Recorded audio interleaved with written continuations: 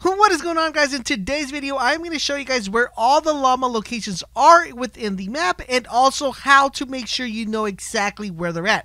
Yes guys, exactly where they're at. So let's go ahead and dive into this video. So the loot llamas got introduced into the game and they bring a different dynamic that we haven't seen in the game. Why do I say a different dynamic? Because the loot in the llamas is not like a supply drop, it's not like a chest. It's actually going to be stuff that's going to be very beneficial to you in the later rounds and also in the early rounds. Basically, what you can find in the llama is 500 supply of everything. So 500 steel, 500 brick, 500 wood. So if you're short on materials, the llama will be very helpful. Not only that, but you're also able to get bandages and you're also able to get uh, shields and also half shields. So it makes it a really, really good find, especially if you find it early in the game and late in the game. So where exactly are these llamas and how do you determine where they're going to spawn in the map. So usually within the map, there's three llamas that spawn every single time, and knowing their pinpoint location is going to be very crucial. And here's how you're going to know exactly when they spawn. Now, of course, I will have a full map showing you guys exactly all the locations a little bit later on this video, but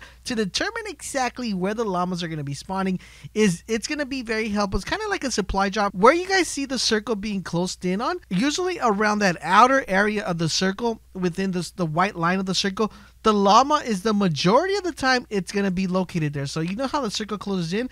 If you go walk around that circle, you know, all, like if you walk all the way around and no one has picked up a llama, you are definitely going to find a llama. So if you want to make sure you find a llama anytime the circle is closing or you're by the circle being closed, check around because there's usually a llama there if it hasn't already picked up. Now here is the map of all the llama locations. So basically when the circle starts closing, you can definitely reference to this map, share this video with your friends so they know exactly as well where it's closing. And that way you can determine, okay, well there's a llama on that point. I'm definitely going to go over there and check if there's there. Or I'm around there, I'm to go check if, you know, the llama's still there if no one has picked that up. And that, my friends, is all all the llama locations in Fortnite Battle Royale. I hope you found this video helpful. If you did, do me the huge favor, drop a like. Please share this video with your friends because it does help me out a lot. And don't forget, guys, if you want to stay up to date to everything Fortnite, make sure you guys keep it locked on this channel. And I will catch you guys on the next video.